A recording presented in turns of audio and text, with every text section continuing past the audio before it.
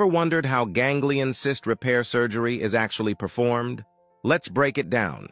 A ganglion cyst is a fluid-filled lump that usually shows up on your wrist or hand and can be painful or limit movement. If it doesn't go away on its own or keeps coming back, surgery might be needed. First, you're given either local or general anesthesia depending on the cyst's size and location. Once you're numb or asleep, the surgeon makes a small incision right over the cyst.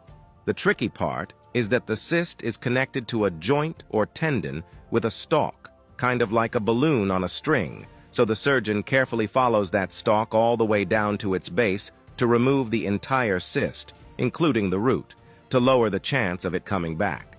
They take extra care to avoid nearby nerves and blood vessels. Once it's fully removed, the area is cleaned, stitched up, and wrapped in a bandage or splint to keep it stable. The whole thing usually takes about 30 to 45 minutes.